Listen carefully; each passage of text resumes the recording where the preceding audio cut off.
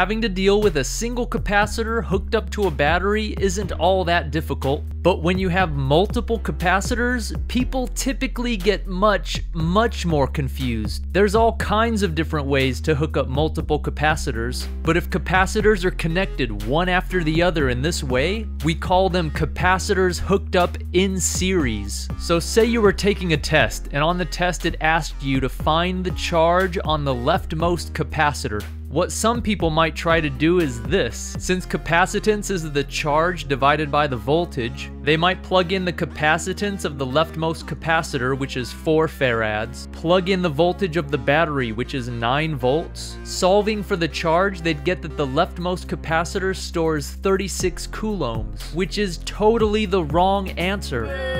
To try and figure out why and to figure out how to properly deal with this type of scenario, let's look at what's actually going on in this example. When the battery's hooked up, a negative charge will start to flow from the right side of capacitor 3, which makes a negative charge get deposited on the left side of capacitor 1. This makes a negative charge flow from the right side of capacitor 1 onto the left side of capacitor 2, and that makes a negative charge flow from the right side of capacitor 2 onto the left side of capacitor 3. Charges will continue doing this, and it's important to note something here. Because of the way the charging process works, all of the capacitors here must have the same amount of charge stored on them.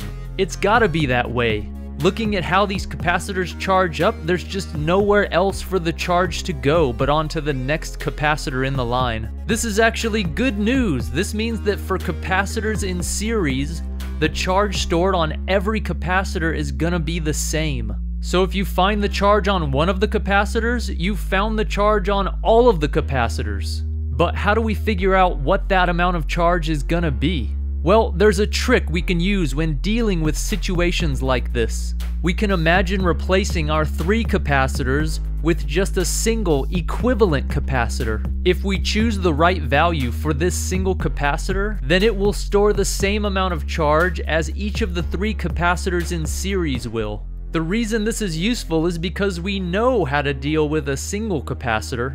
We call this imaginary single capacitor that's replacing multiple capacitors the equivalent capacitor. It's called the equivalent capacitor because its effect on the circuit is, well, equivalent to the sum total effect that the individual capacitors have on the circuit. And it turns out that there's a handy formula that lets you determine the equivalent capacitance. The formula to find the equivalent capacitance of capacitors hooked up in series looks like this. 1 over the equivalent capacitance is gonna equal 1 over the first capacitance plus 1 over the second capacitance, plus 1 over the third capacitance, and if you had more capacitors that were in that same series, you would just continue on this way until you've included all of the contributions from all of the capacitors. We'll prove where this formula comes from in a minute, but for now, let's just get used to using it and see what we can figure out. Using the values from our example, we get that 1 over the equivalent capacitance is going to be 1 over 4 farads plus 1 over 12 farads plus 1 over 6 farads, which equals 0.5. But be careful, you're not done yet. We want the equivalent capacitance, not 1 over the equivalent capacitance. So we have to take 1 over this value of 0.5 that we found. And if we do that, we get that the equivalent capacitance for this series of capacitors is 2 farads. Now that we've reduced our complicated multiple capacitor problem into a single capacitor problem,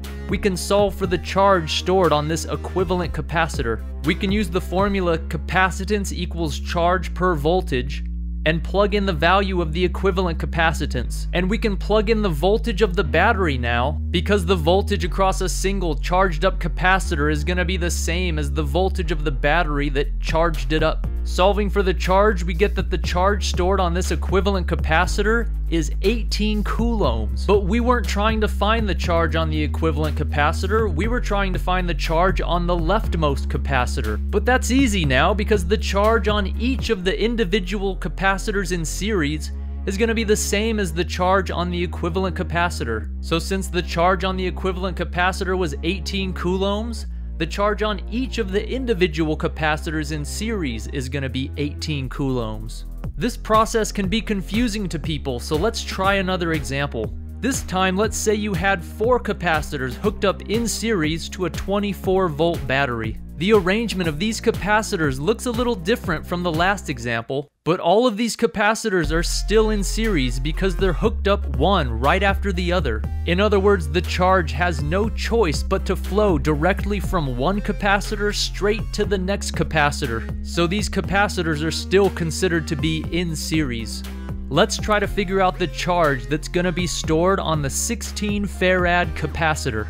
We'll use the same process as before. First, we imagine replacing the four capacitors with a single equivalent capacitor. We'll use the formula to find the equivalent capacitance of capacitors in series. Plugging in our values, we find that 1 over the equivalent capacitance is going to equal 0.125. Be careful, we still have to take 1 over this value to get that the equivalent capacitance for this circuit is going to be 8 farads. Now that we know the equivalent capacitance, we can use the formula capacitance equals charge per voltage. We can plug in the value of the equivalent capacitance, 8 farads, and since we have a single capacitor now, the voltage across that capacitor is going to be the same as the voltage of the battery, which is 24 volts. So we find that our imaginary equivalent capacitor would store a charge of 192 coulombs. This means that the charge on each of the individual capacitors is also going to be 192 coulombs. And this gives us our answer that the charge on the 16 farad capacitor is going to be 192 coulombs. In fact, we can go even further. Now that we know the charge on each capacitor, we can solve for the voltage that's going to exist across each of the individual capacitors. We'll again use the fact that capacitance is the charge per voltage.